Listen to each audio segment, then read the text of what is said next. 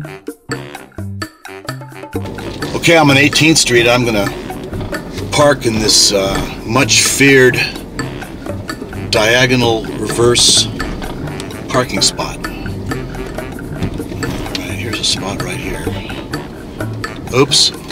Okay, well, there's a guy behind me. Dude, sorry, you're gonna have to wait for me.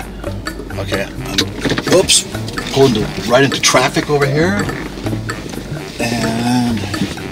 Everybody's waiting for me. Sorry, dude. And that wasn't really very well done, but I did it.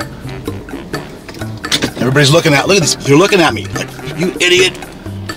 Dude, I'm doing what the city of Bakersfield told me to do. Okay, my business is done. I'm gonna get out of here. I have to pull out, but there's a truck in my way, so I'm gonna have to inch forward a little bit. Make sure nobody's coming. Uh, all clear.